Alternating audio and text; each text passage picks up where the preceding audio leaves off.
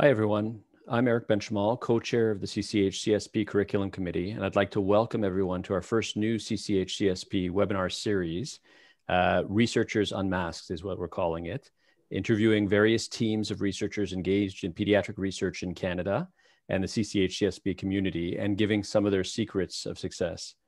It makes sense that the first team being interviewed for the CCH CSP webinar series is the, CC, the team of the CCH CSP head, Dr. Susan Samuel. Susan is a pediatric nephrologist, clinician scientist at the University of Calgary and Alberta Children's Hospital, and a clinical and health services researcher. As you'll hear, she's engaged in a wide range of research from health services research using health administrative data to translational research using biobank specimens to a clinical trial of an intervention for transitioning adolescents with chronic disease. I'd also like to introduce my co-moderator for this se session, Dr. Mandy, Mandy Archibald from the University of Manitoba, Many of you may not know Mandy since she was away in Australia for a few years during her postdoctoral fellowship, but she's participated in the CCH CSP community for many years as a trainee and is now serving on the curriculum committee. Mandy, hi. Hi, thanks, Eric. Yeah, it's really great actually to be back and uh, to contribute to the committee after my years as a doctoral trainee. Um, unfortunately, I wasn't able to bring back an Australian accent, which is what I'd really hoped for, but uh, or the weather training. apparently yeah the weather the, the accent but uh, the training the experience were, were obviously really great so anyway let's get started with a few ground rules for our opening session today so we'll start with a brief introduction from susan and from each of her team members um, and then we'll go over some pre-submitted questions that we've put forward for the team. And we'll make sure to leave at least 10, hopefully more like 15 minutes for questions from the audience. And since it's really about uh, you and as connecting with your experience.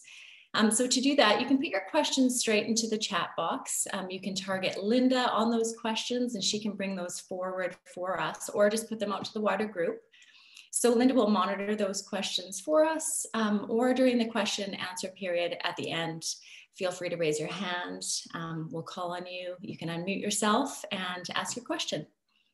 So we'll start with a bit of an introduction then from Susan's team. So Susan, do you want to get started?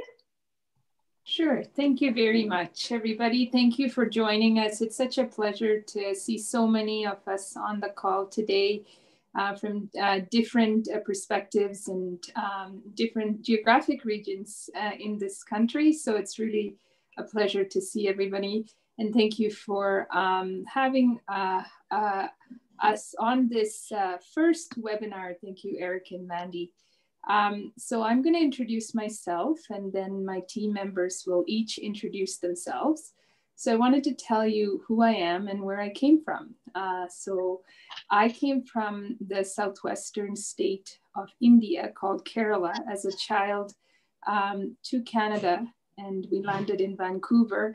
I showed you a map here on this slide and a little picture that's reminiscent of what it looks like in front of the home that I grew up. And it looks very much like that even now.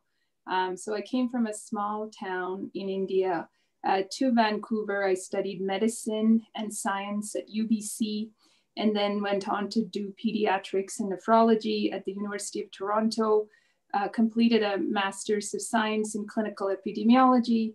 And then I was very uh, privileged to uh, have a job here in Calgary. And that's where I assumed my role as a clinician scientist. Um, I learned the ropes, I found my way, and I'm really grateful for all the training um, that I went through and the, and the position that I'm in. And somewhere along the way, I also became the director of CCHCSP, a career choice that I, I never even dreamt of when I was growing up, but I'm really, really privileged to serve in this way. I wanted to tell you what drives me. And the reason why I'm here and the reason why we're sharing this session with you today is my fundamental belief that research needs to make a difference for patients and families. And I'll tell you why. Um, I showed you the place uh, where I came from. So generations before um, my father, um, our family has a familial kidney disease. So every, in every, and it was in every generation. So many members had died uh, due to an inherited kidney disease. And my father was the first one to survive beyond the age of 50 due to innovations in dialysis and transplantation and of course, uh, because of universal access to healthcare in Canada. So we are very grateful. I have a brother who has intellectual disability and also the same kidney disease. And our hope for him is that he would have delayed progression to dialysis with all the wonderful care he is receiving.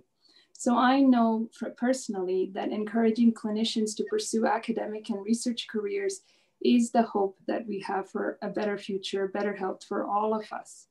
So I wanted to do something larger than myself. Um, I like to solve big problems, grand challenges. So um, I just put the names of a couple of the projects that I work on. One is the Canadian Childhood Nephrotic Syndrome Project, which is affectionately termed ChildNeph. It's a national initiative to study nephrotic syndrome um, and to improve care and outcomes for children who suffer from it. And then the Transition Navigator trial is, um, is a wonderful initiative to bring forward an intervention that would immediately help patients. So we are testing that intervention. There's a large team behind it, and I'm grateful to be part of both of these initiatives. So with that, I will turn it over to my teammate, Laurel. Hi, everybody. Um, I hope you can see me, um, even if you can't. Uh, so, what's an MFA doing on a child health research? Well, I didn't start out that way. Um, this painting means a lot to me. This first painting, and we're reading right to, or left to right. Um, so it's the Daphne and Apollo um, which is uh, uh, a Greek myth. And uh, um, my name is Laurel, and da- uh, Daphne gets turned into a laurel tree. My mother had this little tiny book on uh, Greek mythology that had all these classical paintings in the middle of it. And I saw this painting, and it had Daphne being turned into a laurel tree, and I saw my name, and it got me very interested in fine arts generally, both um, visual and performance. But my uh, real love is performance, and so that picture was by Piero del Pollaiuolo, um, an Italian Renaissance painter. The next uh, painting, for those of you not familiar with it, is uh, a, a cutout, one of uh, a series of paintings by Henri Matisse. Um, and uh, this just to me shows the excitement of performance and movement. And uh, so my actual master's is in dance history and criticism. And I wrote a thesis on aesthetics and whatnot. Um, the next, uh, I wasn't born in Canada. Uh, I came to Canada, and the next painting is by a group of seven artists, F.H. Uh, Varley. And so I moved to uh, Ontario uh, to study at York University and do my MFA there. Um, I had a job after that in Canada, met and married my husband, who's so I hooked a Canuck. Um, the next three paintings sort of indicate uh, my uh, uh, my three children that I had. Um, and these are by Cassatt and Melcher and Freer. Um, then we go on to the second row. And my youngest son was um, diagnosed with autism just before he turned three, and life kind of came, became a Jackson Pollock figure uh, or painting. So um, there was not a lot of direction, not a lot of, and this was uh, uh, a long time ago. All my children are grown and in their mid to uh, late 20s and 30. Um, so, uh, at any rate, there was a lot of confusion, a lot of chaos, a lot of crises. Um, my son uh, Daniel is e- extremely involved, as we say, with his uh, uh, autism diagnosis. He has an intellectual disability and mood disorder and various other things. So the only um, uh, so I had to pivot. and so you'll see that uh, I had to kind of move away from my fine arts background and uh, start figuring out what I what we were going to do as a family and what we were going to do specifically with my son. Uh, early on, uh, I was very privileged to be co uh, coordinator for early intervention. So I started meeting families who uh, didn't just have autism, but had other kinds of disabilities. Um, and over the next 15, 20 years, I've been working pretty much uh, in in various uh, jurisdictions on uh, as a disability disability advocate um, and help, and then as family faculty in the states um, where they have actual people with lived experience or as i like to call them experience experts um, and uh, got very involved with uh, research and uh, teaching uh, graduate level students about uh, families experiences through various programs. And about in 2011, I started at the amazing Alberta Children's Hospital, which is my final picture there. Um, I've been in various uh, uh, positions since then and been working with Susan on and off um, since 2011. Uh, and uh, I left her for a couple of years to learn a bit more about research with a different kind of research team and uh, came back to, so I've been with her now since 2015. So, and very, very, very lucky, as you can tell from my initial training, that I am uh, in this position and I'm delighted to, uh, to bring what what gifts I have to the team. And that's enough for me.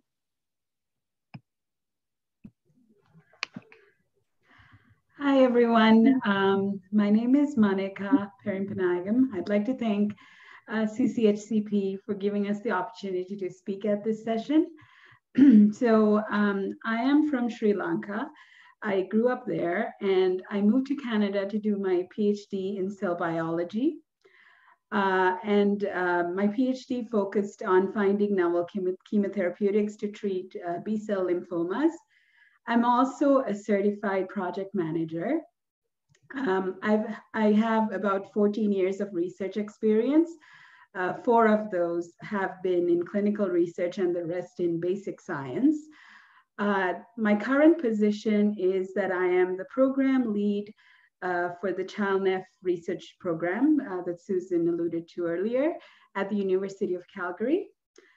And the unique skill that I bring to this team is that I'm able to bridge the gap between basic science and clinical research.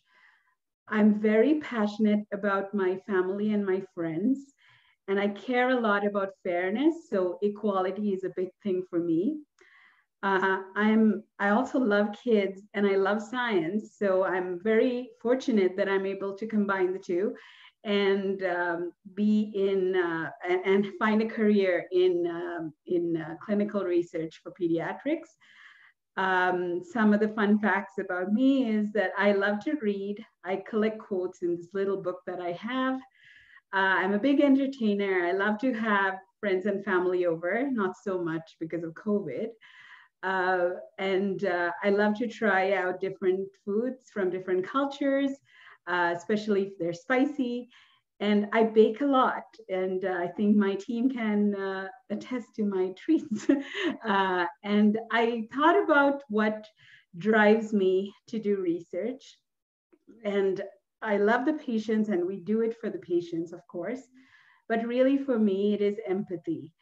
Um, my husband and I lost uh, a baby girl. Uh, she was stillborn uh, in 2015, and uh, that that um, that made me change my career from being a basic scientist to becoming a clinical researcher because I I felt like I needed more of the human experience.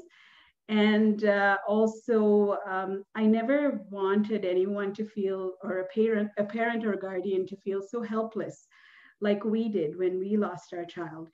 Uh, so um, before I end my, um, my presentation or my introduction, I'm going to leave you with a quote uh, by Audrey Hepburn about empathy. Uh, she says, nothing is more important than empathy for another human being's suffering.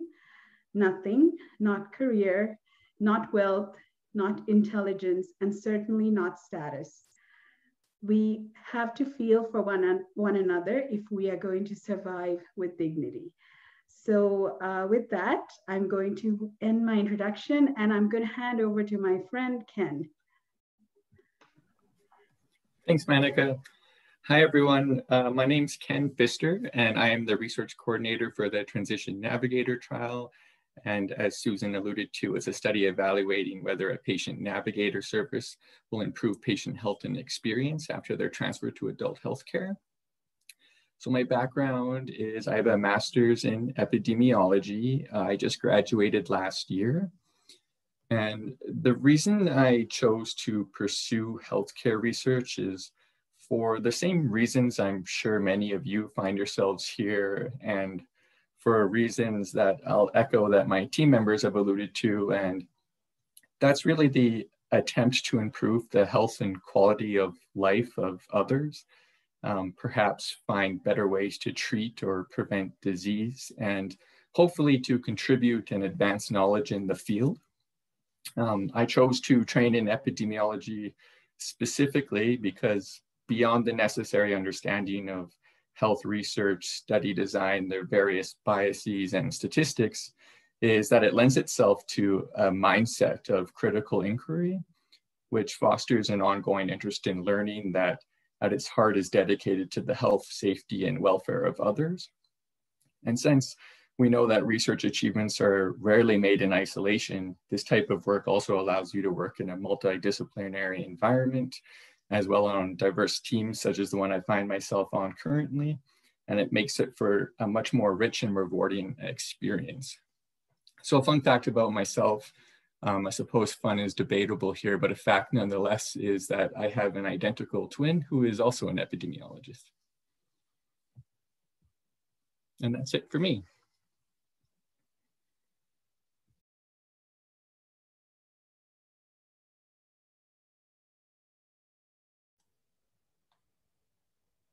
That's great. Thank you, everybody. And I think we we got everybody there, right, Susan?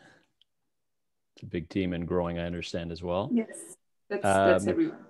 Great. And, and uh, you know, I think what struck me, and we'll get started with some questions first, uh, sort of questions from us and questions from the audience that were submitted ahead of time, and then we'll open it up to questions from the audience live. But I think one thing that struck me, Susan, is the the sheer diversity of the team, right? You know, gender, ethnicity, but most importantly, multidisciplinary science. Uh, can you tell me how you went about building such a, a fascinating, diverse, and wide ranging team? Yeah, so we reflected on this a little bit as we prepared for this presentation. And I can be very honest that I did not have as rich an understanding of the value of diversity when I first started out as a junior researcher. Um, you know, the temptation is that we um, populate our teams with people who are like-minded, who have similar training. Um, fortunately or unfortunately, I was not able to find those individuals. And with Laurel joining our team, over, she has obviously been with, um, with the nephrology team at the University of Calgary for some time and, and more closely working with me for more than five years.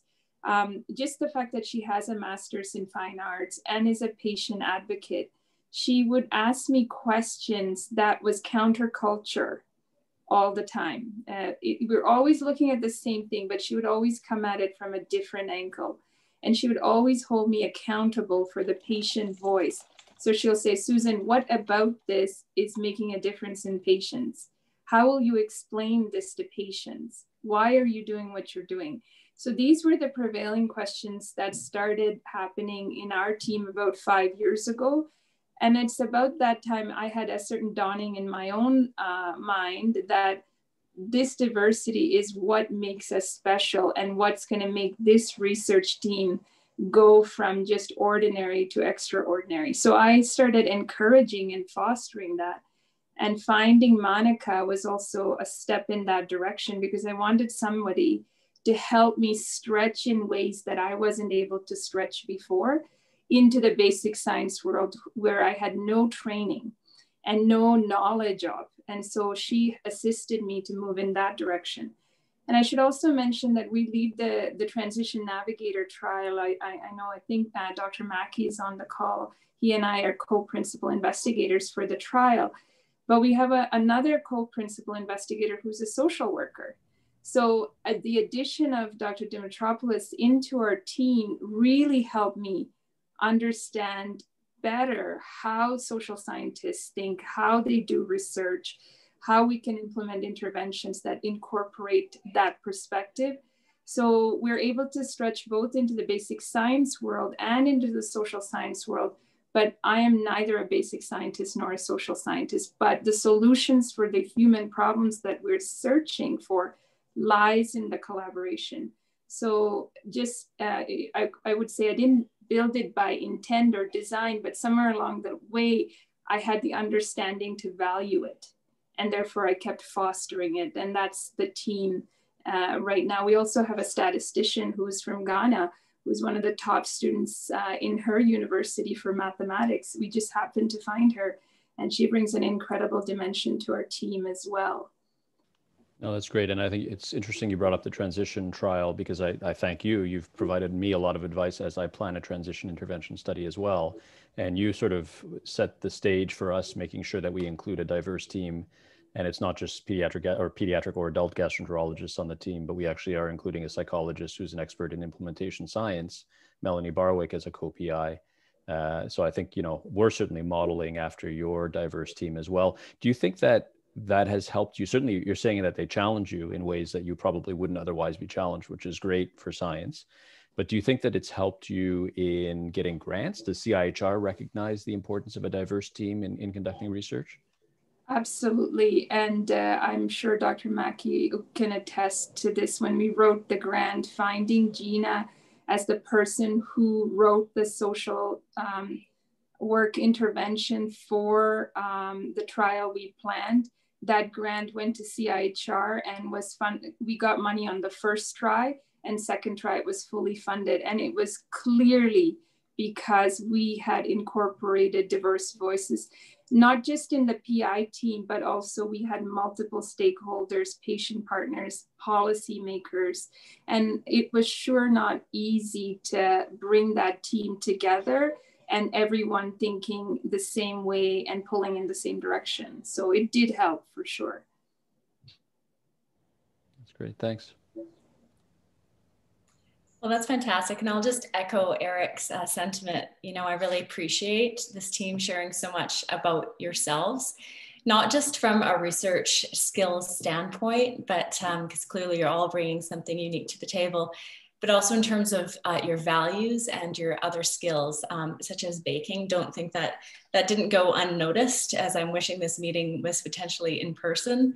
That would be fantastic. So um, just thinking, you know, also when we, when we talk about team building and team success, we tend to focus a lot on the, on the lead investigator, which is great. Um, but clearly the experiences of the other team members are very important as well to ensuring team success and also the sustainability of the team.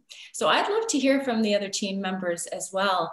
Um, Manika, Laurel, um, Ken, what it's been like for you working within such a diverse team.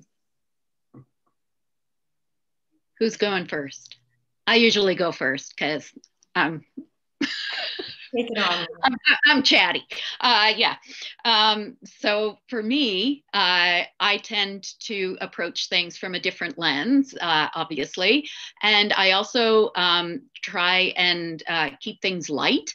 So um, for me, working with science scientists, sciencey scientists is uh, rather different um, because they don't come at things from a kind of artsy as we used to say, artsy fartsy background. And, um, you know, it's, uh, it's good because I think we tend to balance each other out. I'm a bit more, uh, I'm a less a lateral thinker. Um, and uh, I think my team members help me to uh, focus, um, definitely, and uh, just kind of uh, yeah, organize and uh, figure out better ways to to attempt things. Somebody else. Yes. Um, so um, for me, um, I am the sciencey person. She's talking about me and Ken, I suppose. Uh, and uh, we, I mean, at least me, I, I am um, uh, I, I think like a project manager, and for me, it's all about deliverables and all about the science. And really, people like Laurel uh, lighten the mood and and help me not to be so serious about things. And really, she brings the patient voice. She reminds us always, like, what about what about what you're doing is for the patients? Like she she keeps reminding us that, and I think that is very important. And she she makes us laugh and she she just so like she's really the magic of our team. I always say that. And um and ken is so wonderful. She he is uh, he teaches us so much about teaches me so much about the epidemiol, epidemiology side of things. Uh, so uh, yeah I, I just love it. I love working in this team and we really appreciate each other that's great. And not to put you in a box, Ken, because, you know, for all I know, you could be an accomplished musician or artist as well as a traditional epidemiologist within the team, but you also bring that specific skill set. So, have you worked in a team comprising non epidemiologists in the past? And, and what's it like for you working in this team now? Um, well, uh, first of all, I should say that my experience has been relatively brief since I just graduated last year. And my career as an epidemiologist is really just starting, but I can draw upon my experience as a volunteer on other research teams, working as a research assistant, and even as a student. And I would say that it tended to be a little epicentric. Um, if I wasn't working with epidemiologists directly or those that were in training, um, it was with individuals with educational backgrounds that are very epi adjacent so working working for this team's been a fantastic experience for me because of the diversity in the roles and the educational backgrounds. And as Manika talked about just the lived experience of our team members. Um, i would say from an epi perspective it's easy to get lost in the number crunching and you can start to see patients in terms of what they can provide for you. And that's their data but working closely on this team and working with specifically a social worker who's actually providing the intervention for our patients, um, everything they do is through that lens. Um, the patient's always in mind, and this is informed by listening and establishing that connection with them. And from even um, someone like Laurel um, with her lived experience and sort of being the champion for the patient voice has kept that fresh perspective in mind. And um, really keeps the why of the work that we do front and center. So I think this goes a long way to contributing to a sense of personal satisfaction, but also a willingness to engage more so in discovery and learning as part of the team. That's great. There's, there's certainly a sense of openness across the team that I, I'm, I'm sure we're all sensing at this point. And, and not to position epidemiology and the arts as dichotomies. And this is the, the point uh, in my uh, introduction where I, I, suppose I have a, a disclaimer. Um, but some of you would know this, uh, um, and Laurel, um, you know, you know this as well now, that because of my background as well of integrating the arts into scientific research, um, when I heard about your background, I was really quite interested in hearing how that infiltrates, if at all, what happens with the, within the team. So, how do you think that this background might help advance the goals of the research team? Well, um, thank you for the question. That's a, a very tough question because it doesn't always just fit in there. Uh, it doesn't dovetail uh, necessarily very easily, but um, I think when uh, when we're in uh, even a Zoom, um, I I have a background in looking at movement and trying to assign. Um, uh, effort or shape to the movement and how that works with um, what people are saying. So, I mean, we all know that there's body language and things like that. So, um, I just have a bit more training in really paying attention to that. So, I try um, to do that. And also because of my experience, and, uh, you know, I, I, I'm not a shy person. Um, so I, and because I'm older than dirt um, and uh, you know kind of a generation older than everyone else on the team i also uh, am more willing to uh, say things that are a bit uh, counterculture, as Susan nicely put it, but are sometimes outrageous. And I'll take things to um, the uh, illogical extreme, um, you know, and just try and, you know, uh, point us in ways that, um, because you know my my background in the arts and you know too it's it's experimentation right? Um, and and in science that's all they do is experiments um, or not all but you know a lot of things that come out of science are happy accidents from you know trying uh, trying something different trying you know a new way of looking at something um, and you know novel uh, chemo sciency chemical thingies that Manika worked on. Um, obviously, I have a rich background in science. Um, it, you know, it really, even there, you know, it's looking for something new. So I think, you know, constantly trying to push the the envelope, I guess we say, and not being afraid to do that.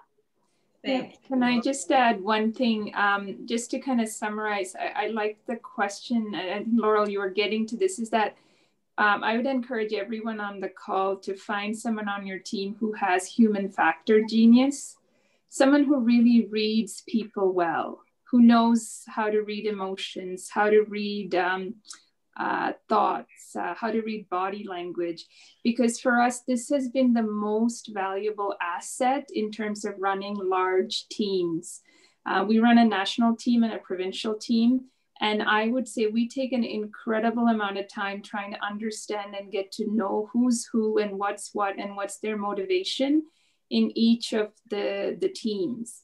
And often we, you know, we can talk about this in terms of conflict resolution. We reflected on this a little bit, is that it's that human factor genius that helps you resolve conflict because you can get to the root cause of problems. So if you have someone who's a very linear thinker, who's so attached to the data and getting emotional about the scientific questions on the team, that's great. It will advance your career. However, it will not advance your relational career. So if you have someone like Laurel who sits back and just watches body language and tone and understands the root cause of people's uh, conversations and behavior, then I'm able to say, okay, yeah, thank you, Laurel, for that insight. Let's talk to them further. Or, and uh, we have this funny story where um, I think Monica is going to go into this a little bit, but where a couple of colleagues uh, on a national telephone call got into a little bit of a disagreement and it was a national incident in, in, in pediatric nephrology.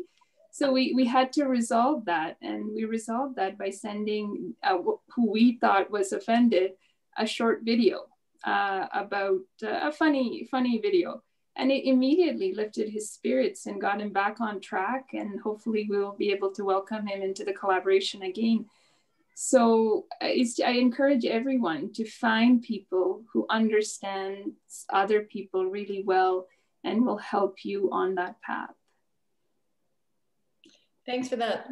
Um, thanks for that, Susan. You know, I, I that human factor genius, I really, I really like that. I think it's hugely helpful and and potentially one of those overlooked um, critical ingredients, you know, for team uh, success. So so I think that's great. And, and you've started getting into this, but I'm wondering if you could share with the group um, some of the other specific strategies that you have found useful um, in ensuring team cohesion um, and shared vision in light of the diversity that your team does hold.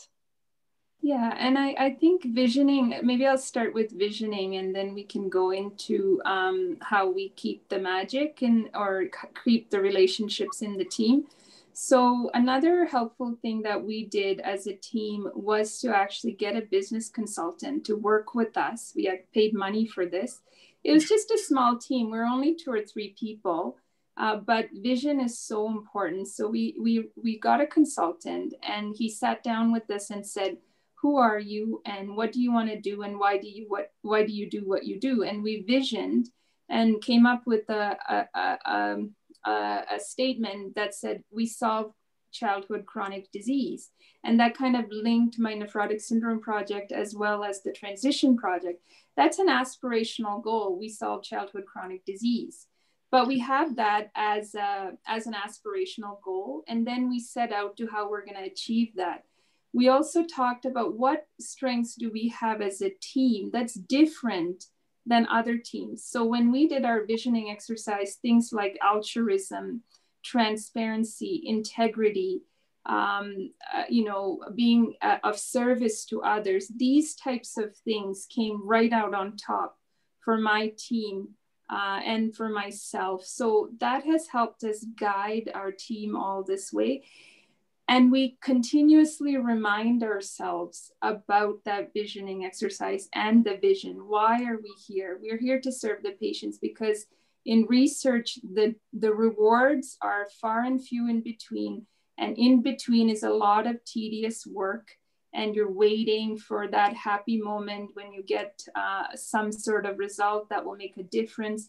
And many times in research, that result may never come but and then we have still we keep our vision alive. For example with childhood nephrotic syndrome i have an aspirational goal that we want to find the pathogenesis of nephrotic syndrome. I know very well it may not happen on my watch but i want to be very sure that i provide the shoulders somebody else can stand on 50 years from now and possibly find that solution and hopefully many generations of kid, kids can stop getting prednisone for the treatment of nephrotic syndrome. So that's an aspirational goal. That's a vision I have.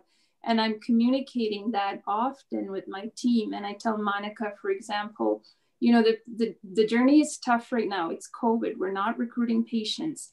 We're not getting the biosamples we need. We're designing an international trial. That's taking its own time.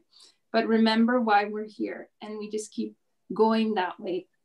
Now, to keep things moving in our team, especially during COVID when things are so um, difficult, is that we remember to keep things light.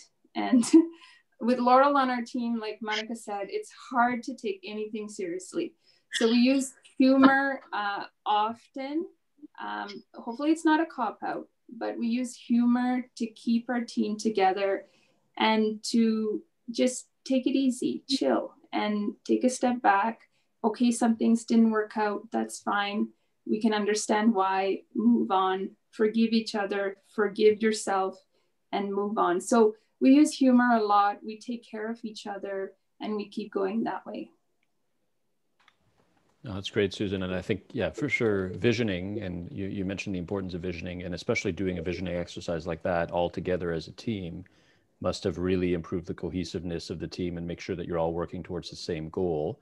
That being said, sometimes there's conflict, and you implied that, and from a light perspective. But Monica, can you talk a little bit about um, some conflict that may have arisen in the team? You don't have to be too specific.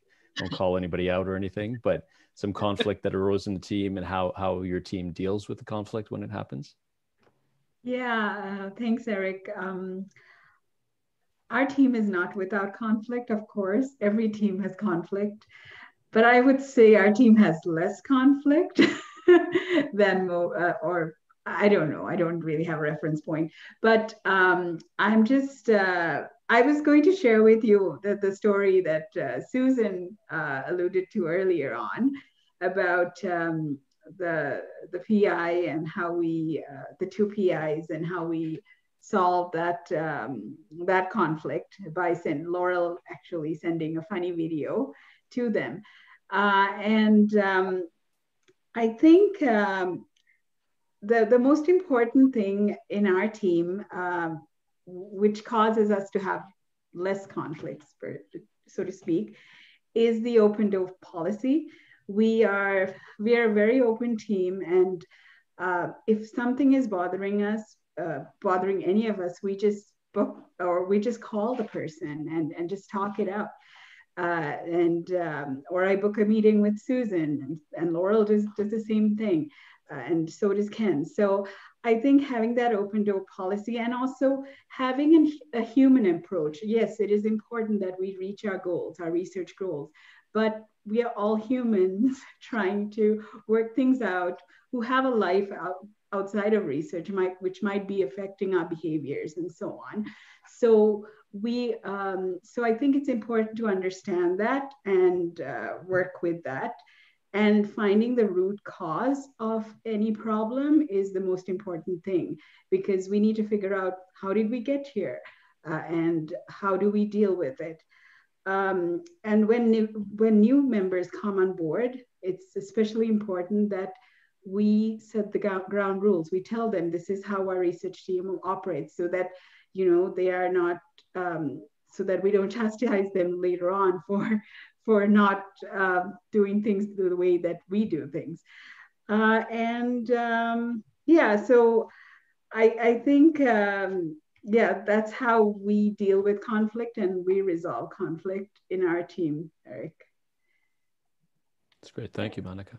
Yeah, and I, I, I think that's great. And it, I get the sense too from the team that really also what keeps you centered is this is this real clinical application, this idea that the patient is at the center of everything that you do and that helps drive you through the conflict that you're facing so i'd love to hear more about that and, and laurel you started a bit of that discussion earlier um, talking about your role in providing the patient's voice in uh, partially relation to your son daniel um, mm-hmm. and I'm wondering if you could share a bit more about that and how the patient voice is integrated into the team's research. Thank you. That's a great question. Um, I think uh, for me, uh, because my son was diagnosed not at birth, but um, when he was almost three, uh, and we had to wait a long time. And, you know, there's, you know, so I've been through, you know, uh, some different uh, stages. Obviously, my son's 20, just turned 27 now. Amazing. I know I had him very young. Um, but uh, he, you know, having uh, been through and, you know, 20 some odd years ago, we didn't have very, uh, a lot of evidence about what works. Um, and that was the thing I think I, I already said, you know, that got me into looking at research because um, previous to that, uh, you know, and, and I'm much more on the qualitative side because my goal is and you know we started this as soon as my son was diagnosed my husband and I uh, are well educated, um, so supposedly, um, and uh, you know we're majority culture, uh, English speakers, all that kind of thing. And if we were having a hard time, what's it like for other people? Who's a single parent who is new to Canada, who you know is trying to figure things out. They come from a different culture; it's looked at differently. Um, so right away, we started um, trying to uh, support uh, people who were in maybe a more vulnerable position than we were, even, although we felt very vulnerable at the time. Um, and, uh, you know, so I think, you know, we, we were lucky um, that we had opportunities to do that. And for me, one of the biggest um, rewards I've had as a patient advocate and a kind of a program family faculty person um, is seeing people go uh, uh, finding their voice empowering others other patients to find their voice. Because it's not all about my voice although i am pretty good. Um, but uh, uh, you know it's about uh, listening finding people where they are. Um, and even you know in terms of conflict resolution it's like okay so where is this coming from? Meeting people where they are and then you know um, having some back and forth and trying to figure out you know what's what's really the problem here. Um, sometimes that's you know just listing the facts. Sometimes it's giving them some emotional support so that they can move on past that. But really um, empowering others. And i've you know done some uh, courses over the years and whatnot in uh, how to empower others uh, to find their voice because the patient voice is often uh, sometimes uh, missing even though there's a push to to uh, include it these days. But you know how do you do that? Um, there's not a, you know we don't have a playbook. You know here's here's good things to do you know but how do you make it work for your project for your team for where you are you know? Um, so it's and how do we include the marginalized or the underrepresented voices i suppose? Um, because you know everybody uh, i also you know kind of feel like we need to have empathy for each other as team members and also for the people that we're trying to help. And if we don't listen to them you know maybe on a from a sciency point of view um, you know we can find out uh, uh, you know answers but we also have to talk to the patients in order to get the samples to do the sciency stuff um, that i'm not very good at or or not trained in That's great, Laurel. And, and thankfully the science of patient engagement is, is moving along, you know, with this um, great ethos of, of the team that you're part of. And Susan, I'm wondering if you have any other reflections as well on, on this topic, um, potentially, you know, more around why it's important to you or potentially some of the lessons that you've learned through um, keeping the patient front and center in your program. Yeah, so I think it thinks uh, in terms of the patient voice, I think we as clinician scientists need to have patient advocates talking to us on a regular basis. Otherwise, we can get tunnel vision. So that's really good. Um, we wanted to talk about the unique horn idea uh, is that every member on the team provides a certain, um, so we brought the prop, is that sometimes, um, you know, people may laugh, mm-hmm. but I think that it's very important to recognize uh, what, where the ideas come from. Sometimes the, the best ideas can come from a very uh, uh, unguarded question from a patient or even a patient advocate or another staff member. So the PI has to be ready to receive those ideas. And so we have to be ready to receive those ideas from the patients, from the stakeholders, from the policymakers, from our colleagues. Sometimes the best questions I have come from my colleagues just walking down the hallway. Um, so that's that's what I would really encourage everyone, you know, who is uh, on the call is really to be open-minded and and to listen to the solutions may come from all kinds of places. So be open-minded and hear that, and then bring that into the lab. And for me, um, just being anchored to the patient experience has provided a lot of uh, my own personal accountability and also it's helped me to stay in the game so that I don't give up and and that keeps me anchored to the cause all the time. Thanks, Susan. And I think we we maybe have a couple minutes very quickly uh, to ask one more question, and then I want to leave some time for the audience questions as well. Um, but sort of at this time in 2020, we can't really go without asking this question, obviously. COVID 19 obviously has presented tremendous challenges to all of us researchers, especially clinical researchers, um, but also opportunities. Can you speak to some of these challenges that you faced over the past six months and maybe what opportunities have arisen? Yeah, so for sure, we have, uh, as a team, both teams that I'm leading have been significantly hampered by COVID. We have almost no recruitment since March 13th, and everything we're doing has been stalled. Um, so we did, uh, we have had funding challenges as well in terms of the Transition Navigator trial, staffing challenges, um, recruitment challenges um, in both studies. But what we're doing to stay afloat, first of all, is to take care of each other, pay attention to mental health and well being. I have uh, made it public to my team that I have lowered my expectations of their productivity or my own productivity because we're at home, we have children, we have other demands, and we're not at our best. So um, that's the first thing. So we reset our expectations and if people need to take care of themselves, we always prioritize that. So we have a saying put on your own oxygen mask first. There's no pretending that you're happy on the team. If you're unhappy, we, we will talk about it. Take the time you need and, um, and then come back when you're ready. Um, then the other thing is just to be patient and wait it out. I have, you know, I've learned to let go of the control that I feel over these teams and let it slide and you never know. And I had a conversation with Linda about this. Uh, my favorite uh, saying to myself is that time and chance happens to everyone. So we have to seize the opportunity. So we are seizing the opportunity by shifting in the Transition Navigator trial to look at some of the COVID related questions, how vulnerable children access or don't access care during this time. So that's a wonderful new grant we could write next year. So all is not lost and to stay positive and keep going. That's what we've been doing.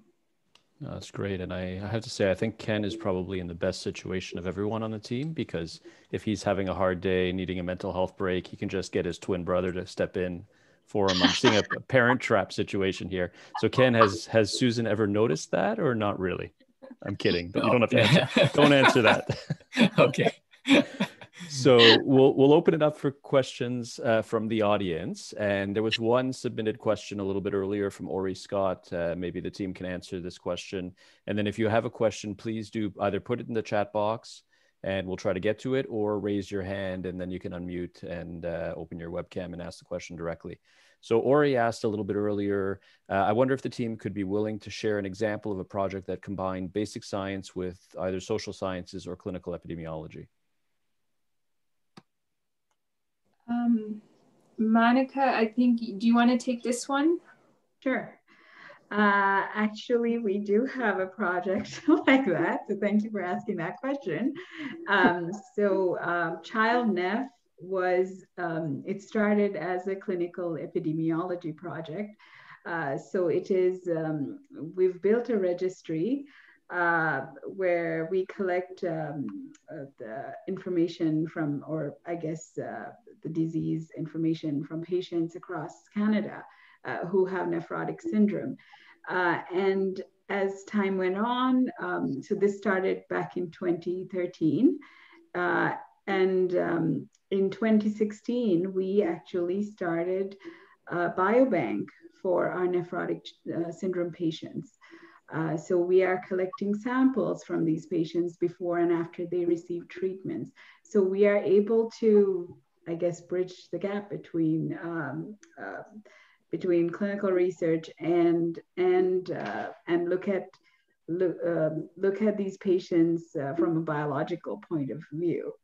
Uh, so we do have a project like that, or two projects actually, which integrate. Yeah. And, and Oh, sorry. I was just going to add that we now have a uh, clinical fellow who's doing a MSc, and she is finally.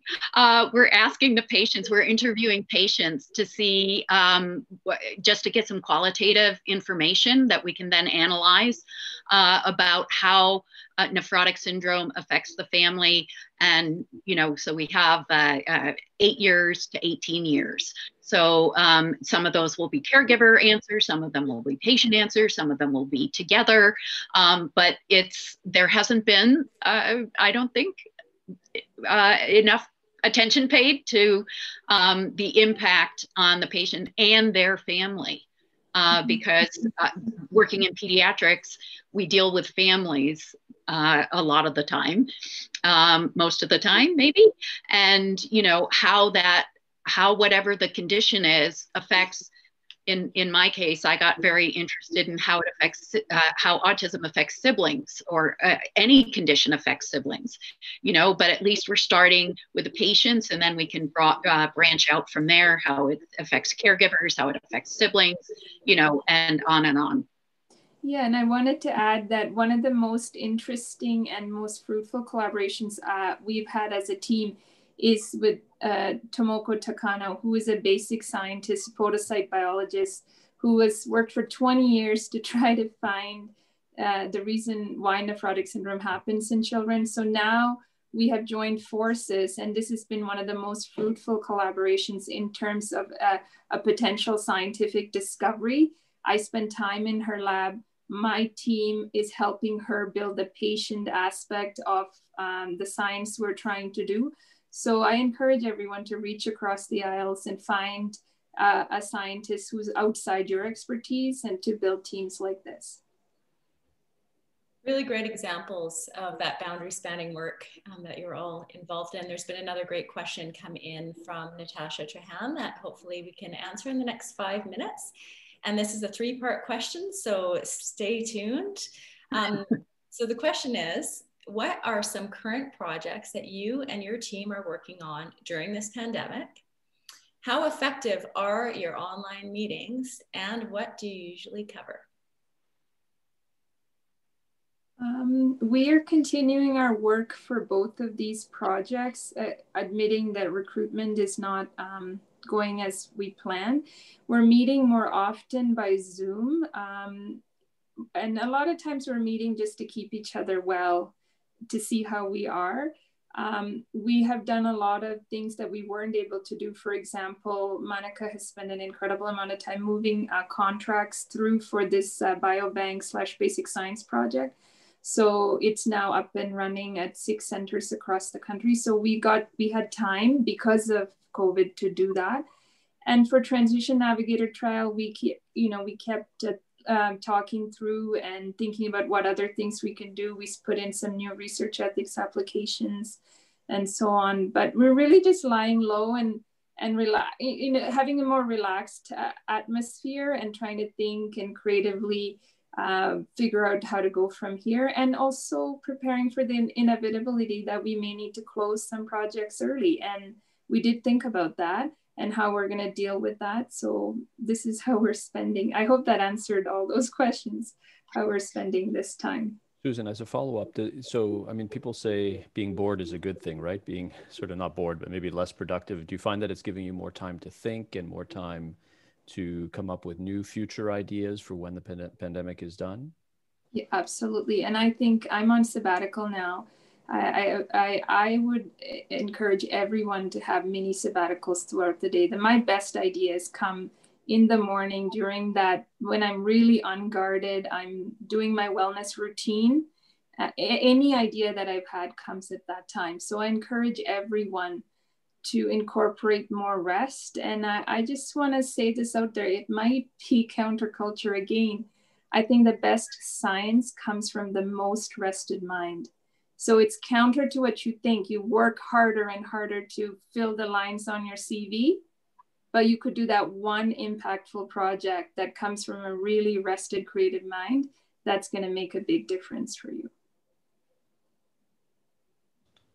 No, that's great. And the only thing I can think of right now to say is I'll have to tell my wife that I need to rest more when I'm not at work because it'll help me work better. I don't think that will go over very well. No, no, it's good that you tried that here, Eric. Yeah, yeah. Everybody's shaking their head. No, no. We're happy to come and talk to her.